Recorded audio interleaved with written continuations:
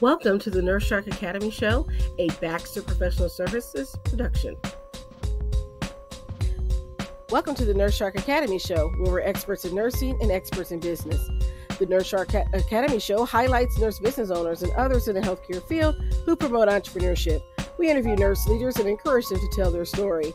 Today's guest is Saundra Boyd, and today's episode How One Nurse Used Caring for a Family Member with a TBI as Inspiration to Help Others.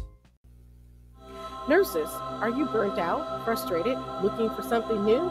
Are you looking for more? Nurses, are you ready to feel the sun? You will dream big and expand your consciousness as an entrepreneur. Your nursing license is your key to freedom. Join the Nurse Shark Academy at the nursesharkacademy.biz today.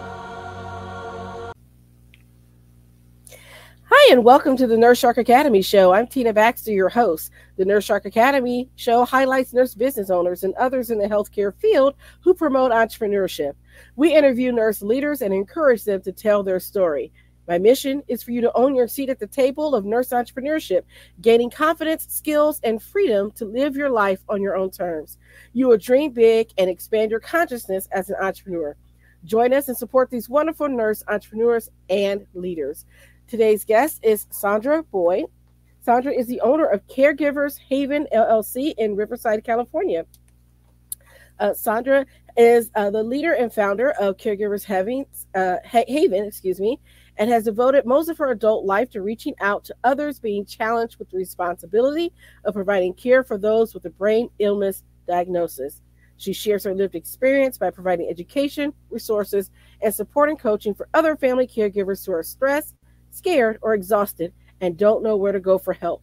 Welcome to the show, Saundra. Thank you. Thank you. How are you doing today? Doing great. Doing great. Good. So tell me, I always ask our first question is what made you become a nurse? Uh I don't know. So my mom told me that I used to say I want to be a nurse from a little girl. And so it's really weird because none of my relatives were nurses. No one had been in the hospital, like all the usual things that kind of prompt people to become want to become nurse. She just said that I always was always helpful. I always liked people, loved people, and I said I want to be a nurse. I know at some point it changed to where I wanted to be a pediatrician and then flip back to nursing. Um, but I've always loved people, always loved children, and it just came from where we don't know. it just it never changed. You know, I, I, got when I got in college, I just still wanted to be a nurse. So where did you go to school? Um, I went. It's a long story because uh, I went to several schools. I graduated from LA County USC School of Nursing and and back when I graduated in 1982, it was still an old school diploma program where I lived at the hospital on campus in the nursing dorms. You know, they don't they don't really have those anymore. I, and I think when I went there, ours ours at the time was one of the last three in the U.S. that were set up like that. But that's where I graduated with my RN, um, and then I graduated with my BSN from California Baptist University. So that had to have been a great experience because we don't have those experiences any longer where you sort of live on campus and you're there um, as pretty much, I don't know how to put it, but um, indentured servitude. uh, where you're there yeah four seven, you know, you're available to them, so they don't have to worry about staffing because they have all, all of you there. So yeah, no, I I loved it. I tell people all the time, I would I would not change that experience for anything because back then it it's still like a that that hospital is still like a little city. I don't know. Did you ever used to watch uh, General Hospital, the soap yes. opera? So you yeah. know the big white hospital that they show at the beginning. That's um that's LA County. It used to be Los Angeles General General Hospital, but it's LA County and um, it was like a little city. So it was like the big giant hospital was in the middle, and then surrounding it were smaller hospitals. So if you came down the back steps was the nursing dorm and then right across the street from that was like an eight floor psychiatric hospital and then across the street from that was an eight floor pediatric hospital and then next to that was a four floor women's hospital. And in each hospital had their own emergency room so like if you had a child that came to the ER, it was specific to pediatric patients that you know, that ER because it was a hospital. And even though I'm standing across the street, it wasn't like across the street. It was like, you know, a couple of steps from each other. So just this big giant hospital in the building and then these hospitals surrounding it.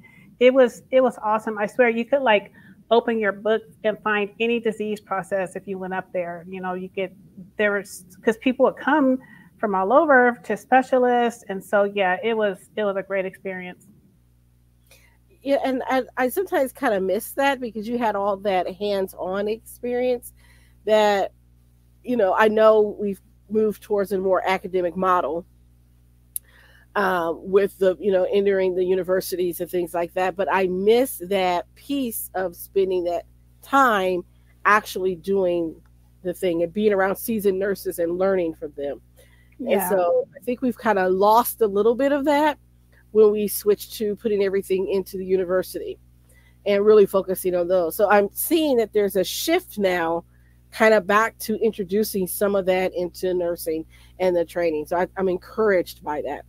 Yeah. So what did you decide to go back and get your bachelor's degree? You said when? What? What made you decide to oh, do that? Mm-hmm.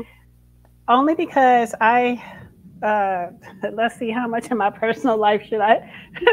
so I I got a full ride scholarship out of high school to go to nursing school at San Francisco State University, and then about I guess a year later I left. I left my scholarship and followed a boyfriend to another university. um, and so then when I came back, that's when I enrolled at LA County. So you know, my mom's still mad at me forty something years later that I did that on the other hand, my boyfriend became my husband, and and in two months we'll celebrate our 40th year of being married. So maybe it wasn't so bad, you know. And you still you still got to get your bachelor's degree. You still became a nurse. Yeah. Yeah. So I so because I always tell my kids to finish what you started, um, because because when I when I came back and went to LA County, of course, I only had my diploma. I didn't have my bachelor's because I left San Francisco State. So I went back way later, um, and it, and that was the only reason I did it just for me and for my kids because I've always told them to finish what you start. And and my boss, she was even like, wait, because I was I was 57, I think, when I went back. She was like, "What are you doing?" She goes, "If you're doing this for me, you don't have to." you know, you're do, you're doing fine with what I need you to do. And I said, no, it's for me. It's for me and my kids because I told them, I always told them to finish what you started. So I'm just going to finish what I started many years ago. So where did you start working when you became a nurse? What was your first nursing job? My first nursing job was at LA County in the pediatric intensive care. And um, it, it was it was interesting because I really pissed off one of the other nurse managers because I had gotten hired into the neonatal ICU because the se- I think it was my whole second year of nursing school. I worked night shift as a student nurse in the um, in the neonatal ICU, and like back then it was like you for real worked. It was it wasn't like mm-hmm. you know you were just there doing secretarial work. Like I actually had patients. I had babies. Um, and so because I had done that for a year, knew the manager and all that, um, I had been hired into there. And at the very teeny last minute, I changed my mind and went to Peds ICU, only because um, one of my instructors told me that because so our our class was the first class that they were allowing to even go into specialties because everyone else, like when you graduated, you had to do a minimum of six months in med surg, and so she she just told me that she felt like NICU was just like too specialized, and so she said if you you know if you want to do peds or kids, do pediatric ICU. Um, it's still a specialty, but it's not as specialized as NICU. So the first two years I did pediatric ICU. Did you ever make your way back to the NICU? Yeah, uh, two. Uh, so I did the two years there at LA County, and then we moved and. Um, it just so happened when we moved uh, out here to Riverside, they only had opening in the NICU.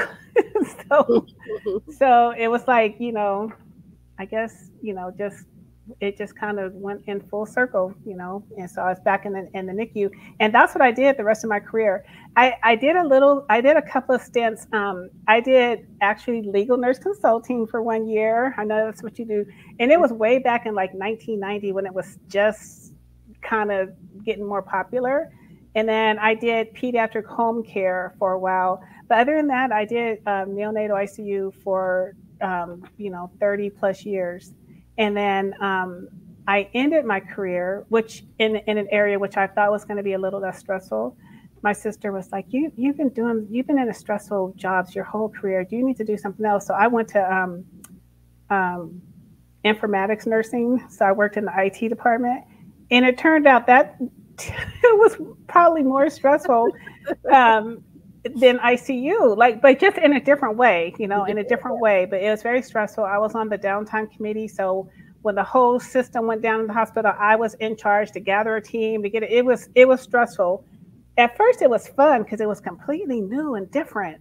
But then it was like, oh my god, this is just as stressful. and of course, at that time, that's when electronic medical records were first starting to come in.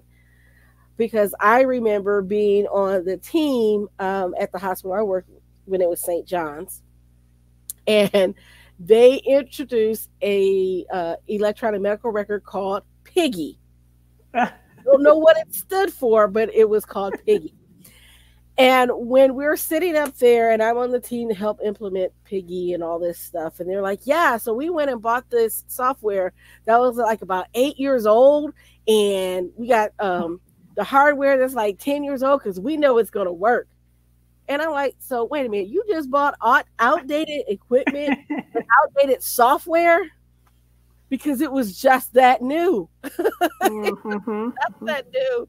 And since then, I've helped three systems with their informatics. I've been on on the committees to just sort of happen when I was a staff mm-hmm. educator. So obviously I had to learn, right? Mm-hmm. The last time it was uh, I, because I was familiar with the system. Um, I was like, well, I can help y'all implement that because I used to work in that system before. So I volunteered to be uh, one of their uh, content experts or whatever they call them. Mm-hmm. Yeah, it, it's it was interesting how far we've come in informatics because for a while that wasn't even a specialty for nursing. Right, right. Yeah, and, and I, I remember having doctors and nurses quit or retire over electronic medical records. oh yes, that happened with us. We had several of those. And, and now today, everything is on electronic medical records. Mm-hmm. Yep. Yeah. So, what brought you then from doing that to starting your own business? So, um, so like I said, my sister was like, you, you know, when you get out of school, you need to find something else to do because you've been out in stressful situations all the all this time. And I was like, well, what else am I going to do? I've only wanted to be a nurse. Like, I mean, I love being. I, I know a lot of people are like, oh, I'm sick of it already, but I love being a nurse. I still love being a nurse um, you know, before I before I retired from the hospital, I would still like get teary eyed and goosebumps when I would, you know, when, when I was in deliveries, you know, seeing the babies being born. And it would be like, you've seen umpteen of these. Why are you still getting so emotional? But it just, it's, it's a miracle to me. Um, I love it. I still love being a nurse. And so when she said that, I was like, I don't know what else I would do. And so she said, um, okay, you're you're going to find something else to do she said you're a great teacher why don't you do something in teaching or whatever so my the end of the my last class when i was doing my capstone project my teacher talked me into she talked me into going to speak at this conference and she also talked me into speak t- talking to our um, our C-suite about making some changes on our informatics team. And I didn't want to do either one. I was like, this was an assignment. I did it. I got my grade. I'm done. And she was like, no, you should, you know, I want you, you know, I want you to try these other two things. And so I did. And um, so when we went to the suite suite, we I was at, I did a um, a big uh, chart, and we were able to actually change our team to to this chart that I did for my project. And so that's what I spoke on. It was American Nursing Informatics Association where I went and spoke. And so I told my sister, I said, okay, if I can go to this conference and speak and don't think, then I'll listen to what you got to say, right? so anyway, I went to the conference and you know I came back and she goes, "Okay, I want you to go to this other conference." And I was like, "What conference?" And so it was called the National Nurses in Business Association, the okay. NNBA. I had never heard of it. And I was like, how do you even know about that? You're not even a nurse. Like, where did you even find this? And are you sure I should go? But anyway, long story short, I went and I was amazed. You know, like I said, I had done legal nurse consulting. I had done a couple of things on the side, but I had no idea that nurses could do this many things. There were so many people there, so many different businesses. Um, there are a lot of coaches, but besides the coaches, there was all kind of businesses. Um, they're, you know, them starting up their own um, CPR classes, um, people doing um, like Botox, like skincare businesses. There was like so many businesses, and I was just amazed. And so on the third I think it was the third day, I was at like the coffee little, I was going to get some coffee, and there were two other nurses there, and they were like, oh, you know, introducing themselves. And they're like, well, what business are you going to do? And I was like, I have no clue. My sister told me to come here. That's the only reason I'm here. and I said, but I go, but I've been thinking over these, you know, a couple of days I've been here that I could either do something in informatics, some kind of business with nurses and informatics. And I said, or I said, I have a family member who has a serious mental illness, and the I go to support group, and the families are struggling so bad. Like they just like one lady, one day she was crying. I just jumped up from the table and just went and hugged her because you know they're scared. They don't know how to talk to the doctors, and so me being a nurse, I, I mean, I had those same feelings and those same issues, but I know how to maneuver through the system. I know how to talk to doctors. I know who to call, and I, you know, I I just had this extra knowledge and so I said, you know, so I really think maybe I should try to find something to do where I can help them because it's just, you know, it, it, it's terrible. And and I told them, I said, I'm a nurse, my husband's a therapist, and even we struggle with, you know, trying sometimes trying to figure out what to do. And so, um, so anyway, I, I said that, and then the other nurse said, "Yeah, we're both here. We don't. We just came too. We didn't know what to expect, and they told me what they were going to do." and so when we were when I was done and we were about to walk away, one of the nurses said, um, she said, Well, I don't know what you decide to do, but I hear your passion helping those families. So maybe that's the business you should go for. And so that's that's kind of where it was born. Well, that's that's important. That's interesting because um, going to a conference for business nurse business owners, right, and entrepreneurs, and then not knowing where you're going to land and just being open. And I want I want our listeners to hear this because sometimes you don't have the answer. You don't have that aha moment of this is the business I was meant to start. But you uh, you went, you were open, and then someone spoke into your life and help you to recognize what you were already passionate about. About, mm-hmm. yeah, and I and I think if I had a if I had a thought about that um, before I went and before that conversation, I wouldn't have thought of that as a business idea. You know, it, it, it wouldn't have come across to me as a business idea. That's and since no, I was going to say that's why I have this show, is because you never know someone could be listening to your story and have an idea because of what you you just said about your story and how you came up with your business. Yeah, and, you know, I think um, so. You know, yes, I'm going to pat myself in the back. Nurses are awesome. yes.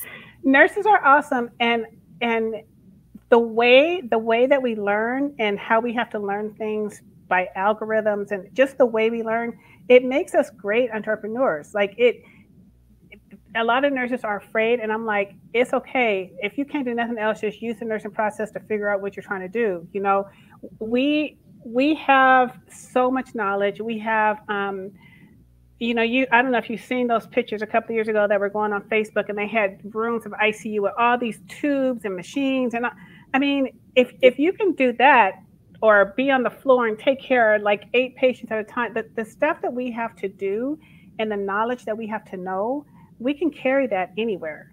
You know, we can carry that into a business. We can carry that in other areas of our life, which I think most of us do. We just we just don't know it. We just don't think about it like that. We don't just, recognize it. Right. Right. So I hear you say recognize your genius. yes. Yes. Recognize your genius. You know, because I I didn't I didn't get it. I I um I mean, even I even talked to doctors and they're like, "Oh my God, you work in neonatal, neonatal ICU? Oh my gosh, you did it for that many years? Oh my gosh, you worked in informatics?" And I'm and I'm just like, it, it was my job, but it's it's uh what what is what do we always talk about? Imposter syndrome. It's imposter syndrome. Yes. We we we have this genius and we don't even know how to tap into it. We have this genius and we don't even understand because for us, it was our job, and for most people um, not all nurses, but for, for the majority of nurses, we, we are nurses because we care and we have compassion and passion for helping people. And so that's all we're thinking about. You know, we're just thinking about our patients and the people that we're helping.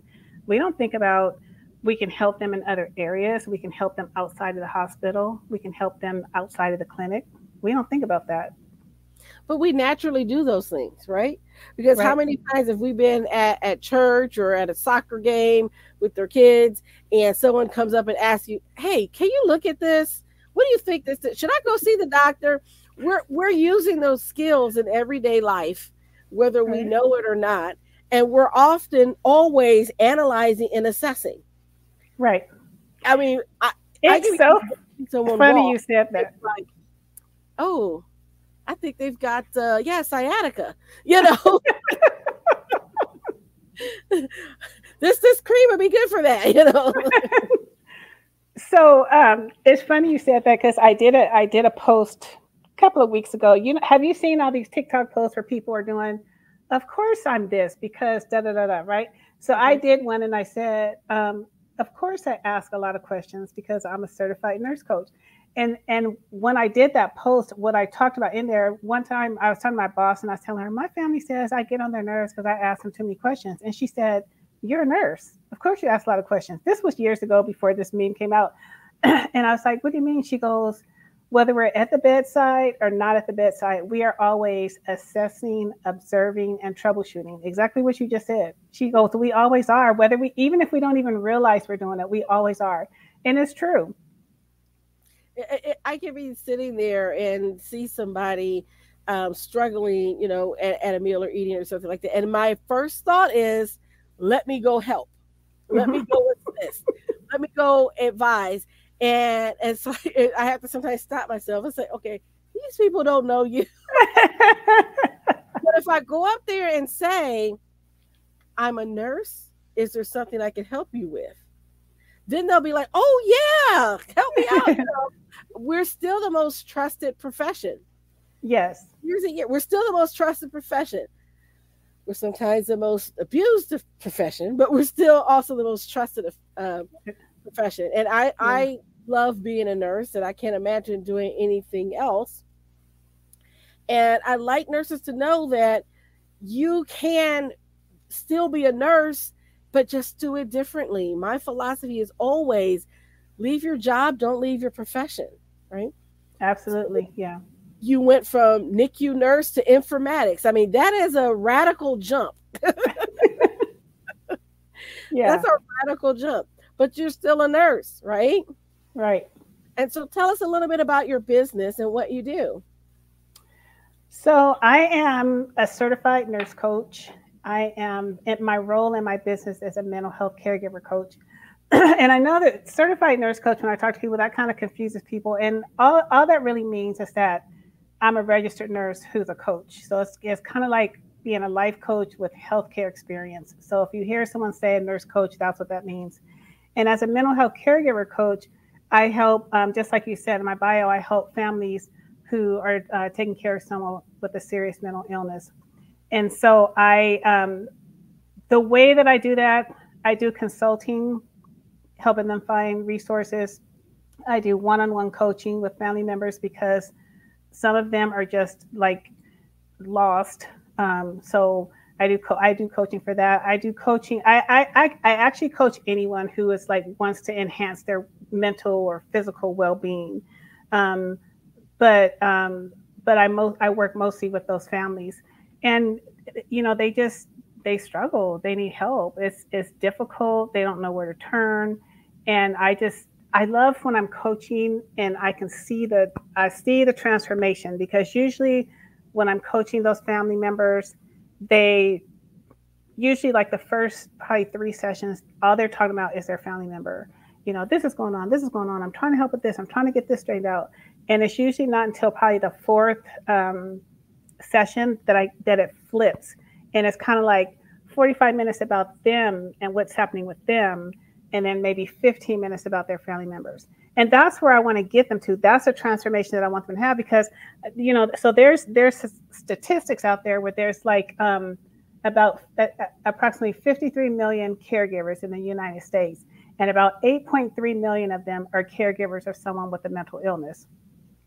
And within that, so there's like 70% of caregivers in general who end up having their own mental illness, like anxiety or depression, um, or heart attack, or other illnesses, just from being a caregiver, just from the stress of being a caregiver. And then within that, if you're a caregiver for someone with a serious mental illness, it increases by 10%. So there's like 25% of family caregivers of mentally ill and 14% of the other caregivers. So, I mean, that's like they need help. they need help. We need to help them to to to move uh, maneuver through this caregiving journey so that that does not happen. And so, go ahead. No, I was going to say it, it's it's it is difficult because I've seen it. Uh, I you know have had family members bring in uh, their loved one, and they're and you're right. It's all about well, this is what they're going through, and this is what they need, and this is I need help, and then finally we can get around to, especially if they are the patient, not the person you're caring for. Um, well, what about you? Where are you? What do you need? And it, it's kind of like nurses, right? if you're the caregiver, you're constantly putting other people's needs ahead of your own. But we often forget that if you don't take care of yourself, you're not going to have anything left to give. Right. Right. You're and not only are you not going to have anything left to give, but you're going to be sick yourself. Yes. And and that's what these statistics are finding. And I mean, just being in my support groups and just the clients that I have, I, I see it. I see it firsthand. It's um it's real. So anybody listening, if you're a caregiver or if you know someone that's a caregiver, get education, get some resources, get some support, go to support groups, get some help because it's it's it's not a joke. It's real that this this you know you you can become sick if you don't take care of yourself. Mm-hmm. Yeah, I, I'm I'm just curious to see if there's uh, some correlations between illnesses such as cancer, heart disease, and things like that from people who are caregivers, uh, because I've seen it anecdotally where they've taken care of so many people, they've neglected their own health until it's too late. Mm-hmm. And they've already had something. I had another uh, lady that um, had ne- taken care of family members, son's got mental illness and all this going on and I kept saying, but you need to go see the doctor because you're losing weight. You've had this uh, area on your face. She ended up having skin cancer. I mean, this whole other thing that progressed and she became very debilitated. And it took her a while to get back to her health because she neglected herself for so long. Yeah. Yeah, and I mean, you can see it when I usually when I first see the when the first when the client first comes to me, you can see it in their face. And when you talked a few minutes ago about how we're always obsessing and observing, like it literally, they're, they're, that you can see it in their face, the exhaustion and the, the fear. You can just see it, and that, and that's why I like, like around that fourth time when it changed. Like I literally, I get goosebumps because I can see it change. Like they logged on that one time, you know, and I'm like, ah, okay, okay, they're getting it, they're getting it, because it's just, um, it's critical that they get help. And so, so that's what I do. And then I also speak at conferences. I speak at workshops. Um, every now and then, I'll do a workshop myself. Uh, and I'm hoping this year to get um, either a Facebook group. I'm I, am i am trying to get. I want to get something that's ongoing support um, because you know I do one-on-one coaching, but you can only help so many people when you're doing one-on-one coaching. So I'm trying. So this year, that's my goal is to get some things going to where there's like continued support, and there's and there's lots of um, you know lots of organizations who support. Well, I shouldn't say lots because a lot of times when you hear about um, businesses and coaches and caregiver caregiver coaches, it's usually people who are taking care of like the elderly or dementia. Yes. There aren't very many for specifically for caregivers of the mentally ill and it's hard because I, like it it's different like my mom has dementia so every now and then i have to take her like i get her for like a week so that my sister can get some respite care and so taking care of my mom versus taking care of my family member is like it's it's different like it you kind of have to understand what it's like to take care of someone with a serious mental illness so so it's different so it's um a lot of times when you hear about all these caregiving companies, they don't know how to help these families. Now, there are some national organizations like like NAMI, the National Alliance of Mental Illness. They have a huge family to family program, which is good. Um, so they have a peer to peer program and a family to family program. The peer to peer is for the person who has mental illness. They take this eight week course, but at the same time, they're having a family to family program for eight weeks where the family members come come the family members and support people can go so they help families and um, i think mental health america there are some national organizations and then there are other uh, more local um, organizations that are helping families excuse me and i'm fortunate to, enough to here in riverside we have one of the first family advocate programs which is through the county. The county of Riverside has her own family advocate program, which is huge. Like, um, you can just call up there and be like, I don't know what to do. Somebody please help me. And they'll help you. They also have a support group. Um, they have um, a resource center where your family members can go during the day. I think they even serve lunch. So, um, so that so we're really fortunate to have that here. A lot of a lot of areas don't have that um, which is another problem, is that there are some communities that don't even have, they don't have a NAMI, they don't even have a psychiatrist. I was talking to this one lady and she had to drive to the next state to take her family member to the hospital, to the doctor appointment. And I was like, what? What is going on? But I talked to um, this doctor and he said, well, if you think about it, it's only been about the last 50 years that that mental illness has been um, looked at as an illness and not just a behavioral problem. And so he goes, we're we're kind of way behind. So that's another one of my pet peeves. My other pet peeve is stigma. I talk about stigma a lot because you know that's another another problem. But, and I'm talking about st- stigma everywhere, not just people treating me different because of my family member. I'm talking about even institutionalized stigma like politics, hospitals, mm-hmm even even there there's there's mental health stigma and so until we until we um, combat that you know we're going to be a little bit behind as far as getting help what's nice is that we're talking about mental health and mental illness a lot more than we used to absolutely um, yes i remember when simone biles decided that she could not continue in the olympics and that was such a huge thing for her to talk about and then she's coming back to gymnastics and she's killing it right? Mm-hmm. And because she had to take that mental health break. And she explained, you know, if my head isn't where it's supposed to be, I could get hurt, I could get injured, I could hurt someone else. It's not a good place to be. And so I think for us to be able to start talking about that and combating that stigma, I've seen it in healthcare where I don't and I'm I work in mental health. So I'm like I understand that the mental health piece is very much a part of what they're experiencing, but I've also seen where so many people have been ignored because they have a mental health diagnosis. Oh, it's just your anxiety. Well, no, they're having a heart attack. Mm-hmm. um, uh, I had a, a, lady, and this is because I'm geri- I work in geriatrics. Um, I had someone I sent out with an acute abdomen, and they're like, "Oh, she's just got a UTI. You know, she's just old and confused." I said, "No." I said she's got abdominal pain. We're treating her for the UTI. We're on top of the UTI. She's been on antibiotics for three days for this UTI. It's not the UTI. Uh, we ordered the, the scan, the ultrasound. We hadn't gotten it back, but she was just so bad we sent her out. She had uh, gallbladder disease.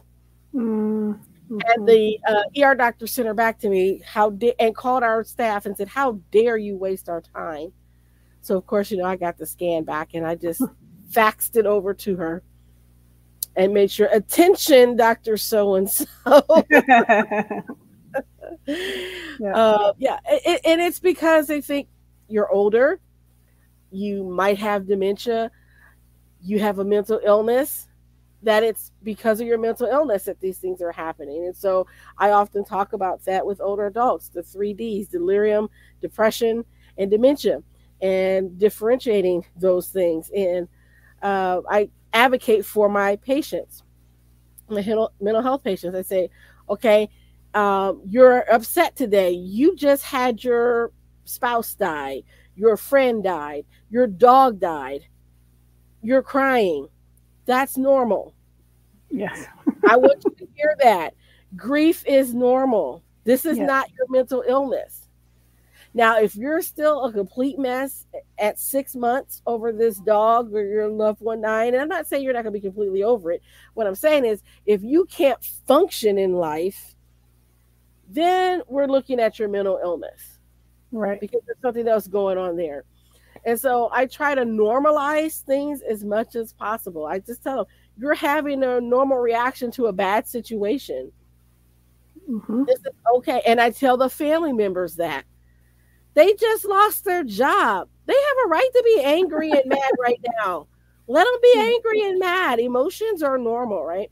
So right. we talk about those things. We try to normalize things so they can, for the individual with the mental illness, they can, you know, differentiate. Oh, yeah, this is just everyday life stress, and everybody goes through this. No, this is I'm. Uh, I need some adjustment on my meds because now I can't control my emotions. I'm just crying all the time or I'm lashing out and it's totally irrational. They can recognize the difference because a lot of times they spend so much time covering up their emotions and not experiencing them. They don't know what is, um, I hate to use the word normal, but our everyday run of the mill. I stub my toe, out it hurts, right? It's supposed right. to hurt. Right. And, and so um, I like the fact that we're talking more about mental health and mental illness. And so Absolutely. I thank you what you're doing because I think it's so needed. Thank you. So, how would someone get a hold of you if they wanted to utilize your services? How would they get a hold of you and set up an appointment with you? Um, I can give you a link to my discovery, discovery call if you want to put that in the notes. And then also, they can um, if they go to my website, caregivershaven.com, and it's caregivers plural, C A R E G I V E R S H A V E N, caregivershaven.com. Uh, uh, there, uh, you'll see something that says work with me. Um, so they can find me there. You can send me a direct message on Instagram or Facebook at Caregivers Haven. Um, I'm on LinkedIn as Saundra Boyd. So any of those places, uh, just if you if you need help or if you know someone who needs help or if you just want more information about, about what I do, you can reach me at any of those places. All right. Thank you. Thank you so much. Yeah. And so um, I want to say this um, you did have your newsletter, um, and there's a link to your newsletter. So those of you who want to follow her and get her newsletter, I'll also put that newsletter in the show notes as well. Yeah, so I'll you have the link to my newsletter, and I'll also send you a link to the um, a discovery call. And and a discovery call uh, for me, for you listeners, is is actually like getting an hour uh, free coaching. It's, it's I do my discovery call like a coaching session. Uh, so it's like getting a free hour of coaching. So look me up. I'll hook you up. that sounds great. And so our last question is, you know, as an entrepreneur, if you had one piece of advice for a budding nurse entrepreneur, what would it be? Only one? Uh, there are so many, and there's probably more that are more important. But this one that I'm going to say, I see people, I see trip people up so much, and that is, don't believe everything you see on social media and and I say that because you're going to see people who are make say they're making a million dollars, and you're going to see people who have a hundred thousand followers, and you're going to be working, working, working, and wondering why don't I have that? But um, I've been doing this long enough to know that sometimes people you can pay to get followers. Um, some people maybe they are making a million dollars, but they didn't tell you it took them ten years to get there. So sometimes we we will feel like, oh, how come this isn't working for me, or oh, I'm not doing a good job because we're we're paying too much attention um, about other folks and what they're doing on social media. And you know, I personally know people who, you know, things are a little bit different than what we see on social media. So um, I think I would just encourage you to not not get into that rut of thinking that you're not doing a good job because you're not doing what the other people are doing. Don't play that comparison game. Yes. Yeah, because you know what? E- everything on social media isn't real, right? I mean, yeah. fortunately for you all, you get you get what you get when you get me. and those who follow me, you know I've been known to show up on my bonnet in, my bonnet on a on a live stream. I don't care. yeah. You'll get it. yeah. But I feel but, I feel bad because when people are first starting off, they they think that something's wrong with their journey and and and it's not, you know. No. A lot of those people had a lot of those people are, you know, faking it till they make it. A lot of those people have been doing it for many, many, many years, and you know, you're you're thinking, oh, I've been doing this for six months now, and I'm not making ten thousand dollars. But you know, it's like some people do, but but the majority don't. So you just don't don't let that trip you up, please. Yes, everybody's journey is their own, right? Mm-hmm. And I, I look at uh, influencers and I love how they're like, let's yeah, get ready with me as I pull out my Louis Vuitton and my Balenciaga. I was a travel nurse, right? and you know, you know, you then they show the behind the scenes where a lot of those pictures are fake and they're not really on a private jet. yeah, yeah, yeah. But, yeah, so definitely, you know, if you're going to look for something, look for the genuine and uh, people and authenticity. Yes. And if they're not willing to pull back the curtain, I'd be kind of concerned, right? Yeah. Mm-hmm. Yeah. Well, all right. Well, this wraps up our show for today. I want to thank you for being here. This has been a great conversation. Um, for those of you that are watching us on YouTube, don't forget to like and subscribe and hit that notification bell so you know the next time that we bring in a wonderful, awesome show. Those of you that are following us on Podbean or wherever you get your podcast, please give us a comment and leave us a review. And if you are a nurse out there and you own a business and you want to come on our show, uh, hit us up at the nurse.academy.biz. All right, that brings the end of our show. Again, I want to thank you, Saundra, for being here. And You're very welcome. Yes, and good night to everyone. Bye. Nurses, are you ready for more? My mission is for you to own your seat at the table of nurse entrepreneurship, gaining confidence, skills, and the freedom to live your life on your own terms. Assisting you in achieving your goals through tailored advice, continuous learning, and a collaborative approach is at the heart of everything I do. Stop being eaten alive. Come feel the sun. Be a nurse shark. Thank you for listening to the Nurse Shark Academy show wherever you get your podcasts or watching us on YouTube. Don't forget to like and subscribe, and don't forget to hit the notification bell so that you'll know when all of our episodes come out. If you want further information, you can contact us on the Nurse Shark Academy.biz.